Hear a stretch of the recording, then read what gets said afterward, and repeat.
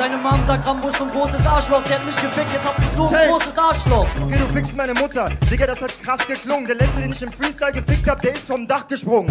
Also bleib locker, Alter. Bevor ich dich Also es ist Opfer, bevor ich dich zerreiße. Dicker, halt mal die Fresse, Dicker, sei mal lieber leise.